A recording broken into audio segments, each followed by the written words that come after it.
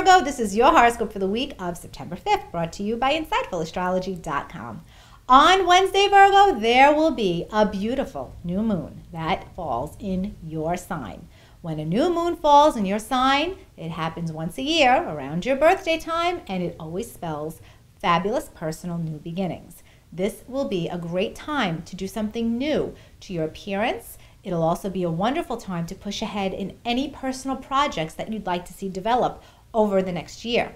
Remember, Mercury is also retrograde in your sign right now. So it's possible that you'll decide to go back and revisit an old potential idea that involves your self development. And if so, it will be very beneficial and it'll be likely to go your way.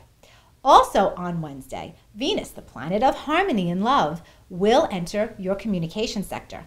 It will be a very fortunate time to have conversations with people and use your words in a graceful, elegant way. It's not a good time to sign contracts yet, however, because remember, Mercury is still retrograde.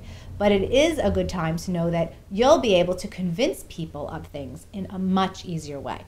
On Thursday, Jupiter, the planet of expansion and abundance, will re enter the seventh house of your horoscope and remains there until January of 2011. Now, a brand new partnership opportunity will come your way. And again, it might be something from the past because Jupiter is moving backwards right now. Whatever this is, it will be very favorable. It could be a business partnership or a romantic partnership that you decide to revisit and start anew.